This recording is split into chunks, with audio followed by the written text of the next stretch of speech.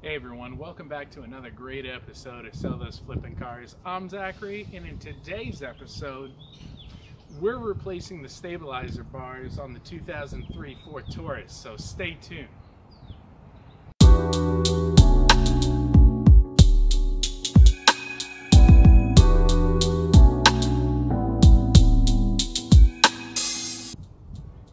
Everyone, as I said, welcome back to another great episode. Today we're messing around with these stabilizer bars on the 2003 Ford Taurus. Even though I just got done throwing the thing back together, now it's time to get it ready to pass inspection. And to pass inspection, your stabilizer bars actually have to be in good working order. Now, these don't come with grease fittings on these, and that's fine, but the boot is what you're really concerned about. Take a look at it, guys. You want a boot, let's focus there a little. You want a boot that doesn't have any cracks, anywhere in it. Now these, these stabilizer bars, I got as a pack on Amazon. I'm gonna throw the link in the description down below. But these stabilizer bars come with the ball joints, the inner and outer tie rods, all for like 50 bucks and they're from Detroit Axle, so they're still a good quality. That's why it's so crazy. That's why it's so crazy when you go to these auto repair shops and they charge you so much for the parts. But they're getting the parts the same place that you're getting the parts right here. Okay? Straight from the manufacturer. So that's how you're saving a lot of money on your parts because all auto repair shops and dealerships have a markup to their parts, and sometimes that markup can actually exceed 200%. 200%! Isn't that crazy? I mean, I'm a mechanic and I make money off of working on other people's vehicles. But this is an auto DIY channel.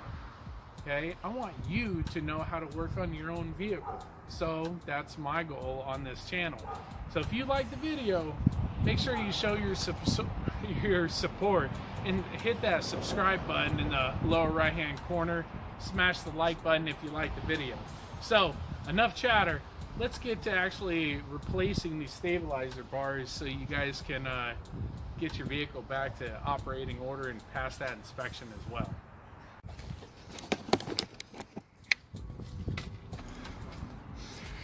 So if you're lucky, when you're trying to get the stabilizer bars off, all you need is an 18 millimeter wrench. Your stabilizer bars right here. It's going to hook into your strut through this hole. You see it? So this hole right here, that's where it goes through. And it's held on by an 18 millimeter uh, nut.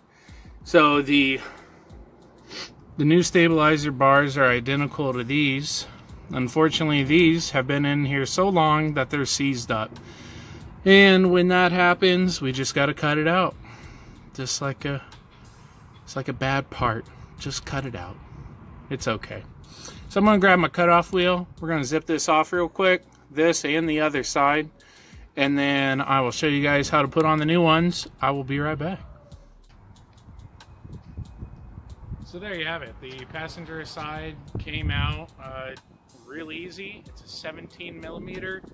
I don't know why it's 18 millimeter on mine uh, on the driver's side, but it didn't want to come out easy, so I went ahead and cut it out. And uh, now it's going to go ahead and replace it with the new one. And the passenger side gets its new one as well. Uh, remember, it's 17 millimeter and it's reverse thread. Um, well, not really reverse thread, but if you're looking at it, you'll have to unscrew it where it's going to the right and not the left. Okay? So don't be tightening it when you're supposed to be loosening it. All right? So there you go, guys. Uh, the 2003 Ford Taurus stabilizer bar replacement. Um, remember, I went ahead and put the parts in the description down below. Uh, it's really simple fix, guys. You take it out and you, you put the new one in. They're identical, okay? But look at that. They face the same way. They look the same. They're just, one's worn and one's not worn. So, guys, if this video has actually helped you today fix your Ford Taurus and you want to see more auto DIY videos, make sure you smash that subscribe button down below. Hit the like button if this video helped you out, and don't forget uh, the parts are in the video description down below. Any uh, they are linked to Amazon. It is an it is an affiliate link, so I do make a commission off of it. But those commissions go towards better video equipment, you know, more lighting, stuff to make the the experience better for you and for me. So hey, thank you so much again, guys make sure you, you smash the like button. I always love to hear that you guys love the videos. But, you know, that's all for this one. So until next time. Oh, oh, oh, oh. By the way, guys. Hey, uh, if you want to see a video that I have not done yet, throw it in the video description down below. Let me know what you want to see. I know someone out there wants to see the rear suspension on the Town and Country. I'm about to do the head gasket on the Ford Taurus, so definitely look out for that one. Uh, the ball joints, the inner and outer tie rods on the Ford Taurus are coming up, so definitely some ones out there. So if there's an idea of a video that you want to see, but you don't want to do it, hey, put it in the comments section. I'll do it. All right. So, hey, thank you so much again, guys. I always love it that you came to watch my video, and uh, we just hit 61 subscribers. Yeah.